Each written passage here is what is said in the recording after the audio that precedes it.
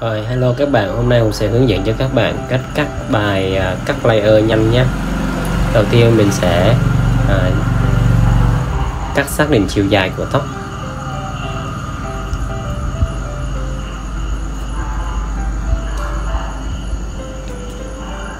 Sau đó anh em đưa về trước, lấy điểm chuẩn à, phần tóc đuôi mà anh em muốn cắt tới ngang nào. Sau đó mình sẽ chia phần đằng trước hai phần bên tay ấy, chạy về trước và xác định độ xéo và mình cắt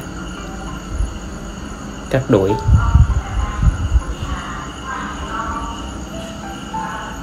Hai bên giống nhau nha các bạn. Mình nâng góc độ 45 độ mình cắt đuổi. Theo cái điểm chuẩn hồi nãy mình vừa mới cắt xong. Sau đó anh em uh, chia phần tóc sau nâng góc độ là 90 độ. 90 độ ngang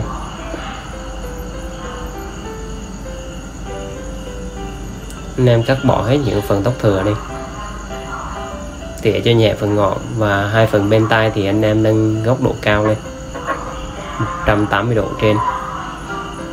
Anh em cắt bỏ hết phần thừa. Hai bên giống nhau nha anh em. Và đây là kết quả nha anh em. Chúc tất cả các anh em thành công.